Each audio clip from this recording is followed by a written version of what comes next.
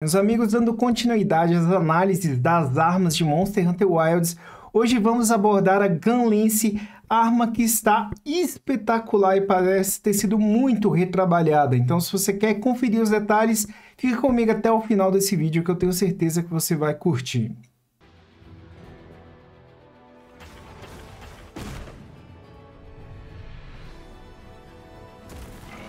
Uma arma de longo alcance, capaz de disparar projéteis explosivos. Use passos laterais para fazer pequenos ajustes em seu posicionamento. Bloqueie os mais poderosos ataques. Utilize uma variedade de ataques com projéteis.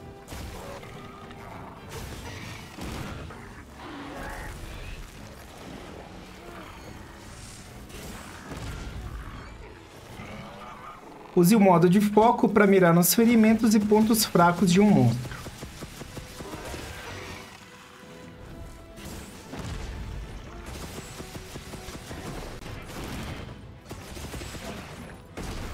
Primeira coisa a destacar é o design dessa lança-arma, tá maravilhoso. O escudo todo detalhado em couro, com uma parte metálica aqui.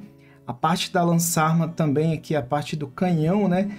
Aqui a parte cortante da arma, tudo muito bonito, né, pessoal? E aqui a gente vê também a armadura do lingote que retorna, tá dourada, tá bonita, né? E tá com uma resolução muito legal no Wilds. E galera, primeira coisa que vemos aqui é um ataque carregado. Olha só, essa arma ela tem três tipos. Ela tem a ampla, tem a normal e tem a long. Cada uma delas tem mecânicas próprias, formas de jogar. Ok? Nós vamos ter que ver quais são as diferenças aí no Wilds quando lançar. Mas cada uma delas tem um, uma quantidade de munição né, que você pode utilizar de projéteis. Quanto mais projéteis, maior a explosão. Primeiro movimento que a gente vê é um ataque carregado. Deixa eu mostrar para vocês. Basicamente você ouve um, dois, três e ele explode, né? Esses ataques carregados, pessoal, na Gunlance eles ignoram o princípio de hit zones, ou seja, as partes fracas do monstro. Cada parte do monstro tem uma resistência diferente, tá? A Gunlance com esses tiros carregados, se você acertar na perna, se você acertar na cabeça, se você acertar numa parte resistente, vai tirar o mesmo dano porque é uma propriedade de artilharia. Ignora ali as fraquezas, tá? Você pode dar esses ataques de forma individual ou você pode dar um ataque carregado que tira mais dano. Lógico, consome um pouquinho mais de tempo e a gente começa vendo um ataque carregado, tá? Aqui a gente já vai ver uma outra propriedade, né? uma outra forma de jogar que diferencia ali da lança tradicional. Na lança você tem as estocadas e na lança-arma, né? na, na você pode dar estocada e ao mesmo tempo dar os tiros com a artilharia, né? se beneficiando da mecânica da arma. Então, é uma mecânica que a gente chama de poke-poke shell. Então, você bate e atira, bate e atira, que é o que ele mostra aqui, né? que é uma mecânica já comum. Ó. Bateu, atirou. Então, você mistura duas propriedades, ataque físico, né, que esse ataque físico, ele leva em conta toda a parte de hit zones do monstro e os, os ataques de shelling que ignoram ali as hit zones. Então você mistura as duas coisas ao mesmo tempo, beleza? Vamos lá. Um dos pontos que a Gunlance do Monster Hunter World mais ficou devendo no jogo foi a questão de posicionamento e também de movimentação. A arma ficou um pouco travada. Era algo que eles precisavam urgentemente retrabalhar e melhorar. E aqui a gente já vê um retrabalho que tá muito legal, pessoal. Vocês vão ver a parte de reposicionamento da arma, né? Como ela vai se reposicionando, como ela vai se locomovendo. Tem um novo movimento que na verdade não é novo, eu vou mostrar para vocês que ele veio lá do Frontier onde você vai dando shelling e se reposicionando. Se liga. Você tem os side steps, que são os pulos para trás para se reposicionar, que é esse pulo que ele acabou de fazer, mas você vai ter também os ataques com projéteis, onde você dá um tiro e usa a física da lança-arma para se reposicionar. Olha só. Ele dá um tiro e vai para a lateral e foge do ataque, tá vendo? Então isso aqui é um, algo muito legal, cara. Vai ficar muito mais natural a movimentação, ó. Deu tiro, reposicionou. Deu outro tiro, ele recuou ali para trás, tá? De onde isso veio? Vou mostrar para vocês. Foi lá do Monster Hunter Frontier. Esse vídeo aqui é do canal The Joy Works, que fez um tutorial da Gunlance lá no Monster Hunter Frontier. E olha só como era o movimento lá. Basicamente, ele dava um sidestep e um tiro para se reposicionar. Né? Dava um sidestep e um tiro. E o interessante, ó, que ele faz um pequeno recuo, né? Isso não consome a fiação da arma e nem a munição da arma, tá? Então, é algo apenas para reposicionamento, o que não prejudica aí a fiação e também não faz você perder tempo tendo que recarregar só para se reposicionar. É algo meio que vai acontecendo ali natural, tá? Então, trouxeram do Frontier um baita acerto aí, na minha visão. A Gunlance ela tem duas mecânicas muito legais, que é o Full Burst, quando você joga toda a sua artilharia de uma vez, causando uma explosão, e também a Serp Estaca, quando você solta uma estaca na cabeça do monstro, vai causando dano ali tá? É muito legal. Tem um novo movimento que usa as duas coisas agora, pessoal. Se liga como ficou maneiro. Então, seguindo o fluxo, ó, ele reposicionou, ele dá um ataque de avanço, gira, já dando full bust, e depois coloca a Serp Staca na cabeça do bicho. E olha os efeitos sonoros disso, né? Tá muito legal. Vamos dar mais uma olhadinha. Agora numa velocidade menor, porque esse combo ficou muito elegante e foda, cara, ó salto lateral, avançou, explodiu e jogou a estaca. Muito massa, né, cara? Muito massa. Logo ao fim desse movimento, ele dá um sidestep, então ele vai para trás, posiciona o escudo na frente, já se defendendo e faz ali uma recarga full da lançarma. Então volta as munições e volta também a serpe estaca, caso queira usar novamente na cabeça do monstro. Olha lá. Colocou o escudo, ó. Já fez a recarga. Isso é muito rápido, tá? A gente vê uma animação de fumaça aqui e já voltou a serpe estaca. Outra coisa para prestar atenção é um movimento que ele faz circular com o escudo. Geralmente, em Monster Hunter, quando tem esse leve movimento circular, significa que você tem um guard point ali. Se você fizer esse movimento circular no momento exato que o monstro vai te acertar, você vai ativar um guard point, que é um ponto de guarda instantâneo. Geralmente, se você acerta isso, você consegue dar um contra-ataque em seguida. Então, observe, ele vai fazer um movimento circular assim, ó. Logo depois, ó, ele fez novamente, está vendo que ele fez duas vezes, né? Na primeira, ele não acertou, porque o monstro atacou e ele não pegou o time, mas na segunda vez, o monstro acertou no momento que ele faz isso, e aí o escudo brilha, significa que você ativou o guard point, ó, vamos dar uma olhada. Brilhou, e aí ele, ele deu um ataque ali, se ele quisesse, ele poderia dar um full burst logo em seguida. Então ele bateu a lança-arma no chão, geralmente você pode dar um full burst, que é dar uma explosão ali em seguida, tá? Provavelmente no jogo final isso vai ser possível, ele só não quis mostrar aqui. Mas ele mostrou que depois do guard point ele já ativou ali um contra-ataque. Isso aqui vem do modo Adept lá do MHGU, vou mostrar para vocês agora.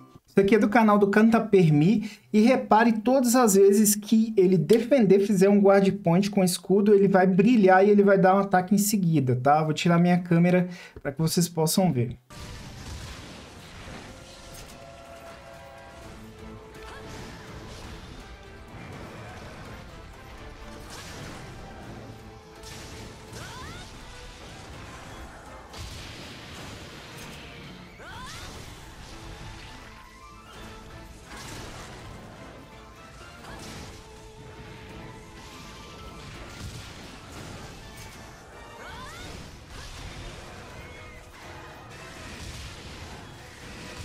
Maneiraço, né, pessoal? Agora vamos dar seguimento aqui.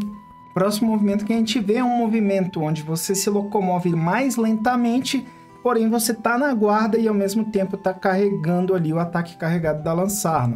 Dá uma olhada. Ó, ele vai dando alguns passos e ao mesmo tempo carregando. Depois que carrega completo, ele solta a explosão.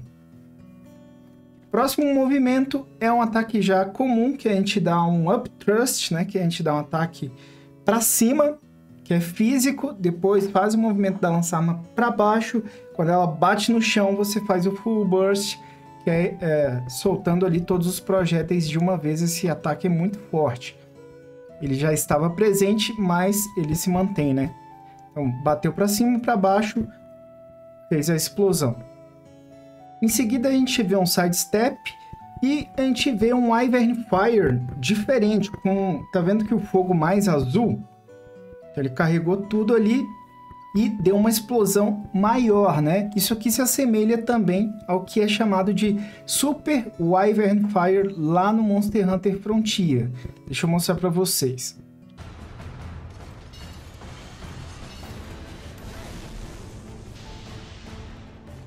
Movimento ele entra no modo foco, galera. Dá uma olhada aqui na mira que aparece, significa que você está no modo foco. Ele vai apoiar a Gun Lance no chão, vai mudar o modo dela para o modo triturador e vai sair correndo, cara, atacando os pontos fracos e também as feridas. Ficou muito estiloso, dá uma olhada. Olha só. Alternou, ligou o triturador, muito massa, cara. Agora mais lento. Posicionou ali, ligou o modo triturador. Começa a correr. Tira o ponto fraco ali, né? Na cara do monstro e depois na perna, cara. Isso aqui ficou muito, muito bom, cara. Depois a gente vê aqui um Wyvern Fire mais rápido do que aquele anterior. Por isso que o pessoal tá chamando ele de Super Wyvern Fire que ele é um pouco mais demorado, parece causar mais dano. E esse aqui, eu não sei se vai, vai ter o mesmo dano ou não, né? Mas esse aqui parece ser ativado mais rápido, se liga. A animação é, ó, muito mais rápida. Vou colocar no modo normal aqui para vocês terem uma noção de como foi rápido. Olha só. É muito rápido, já explodiu.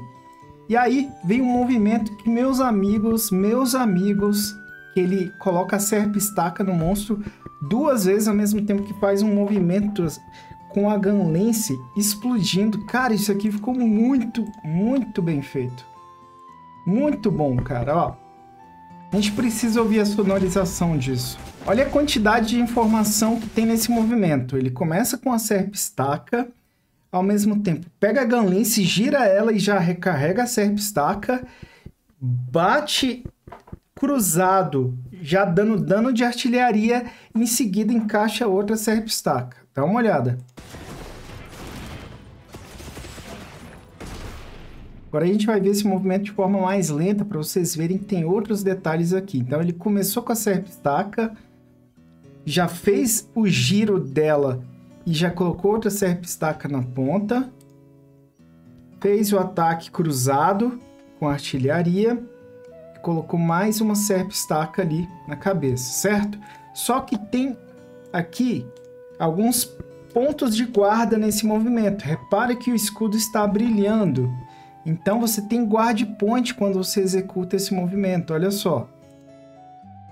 Começou, ó, enquanto ele posicionou o escudo na frente dele para dar a primeira serp estaca, tá um, com um ponto de guarda. Se o monstro te acertar naquele exato momento que o escudo está brilhando, você tem uma, uma guarda instantânea, né? E pode dar um contra-ataque, que é similar à charge, ao conceito da Charge Blade, da lança também. Cara, muito maneiro isso aqui, vai mudar muito a gameplay da Gunlance, tá? Os pontos de guarda dela. Então, tem um ponto de guarda aqui nesse exato momento. Pá! Depois, quando ele faz, ó, o golpe cruzado, novamente, tá vendo? Que ele vai se posicionando ali o escudo na frente do Hunter para colocar a estaca novamente. Ele criou mais um ponto de guarda nesse exato momento, ó. Maneiraço, né? Então, esse movimento tem dois guard points, cara. Muito legal. Isso vai mudar demais também a dinâmica da arma. E por fim, pessoal, a gente tem aquela mecânica que é quando você está no modo foco na defesa e o monstro vem, né? E você vai tentar fazer um clash attack, que é aquele ataque de disputa com o monstro. No caso da lançarma, esse movimento acontece aqui no finalzinho do vídeo. Deixa eu colocar aqui em velocidade 0.5, ó. O monstro vem atacar e ele solta um tiro carregado enquanto defende e derruba ele, tá? Então essa vai ser a forma da Ganlense de fazer aquele ataque de disputa com o monstro. Basicamente isso é a lançarma, cara, trabalharam nela muito bem, tá? Gostei muito do que eu vi, pessoal. É uma arma que vai valer a pena depois criar um save dedicado. Eu gosto de às vezes criar um save dedicado só para aprender as nuances de uma arma assim durante a campanha. É uma coisa que eu vou fazer no futuro certamente. O que, que vocês acharam da Gunlense? Gostaram do que viram aqui? Deixa aí nos comentários. Se curtiu, não esquece de deixar aquele like e assiste aí os outros vídeos que eu já fiz também sobre a Great Sword, a HBG, a Insect Glaive, vou deixar para vocês aqui no final do vídeo, beleza, pessoal? Não esquece de hypar aí também, tem a nova ferramenta do YouTube que ajuda muito nosso canal a chegar a mais pessoas, vamos ajudar a comunidade Hunter aí a chegar e a trafegar mais pelo YouTube. Então é isso, vou ficando por aqui, até o próximo vídeo, valeu e fui!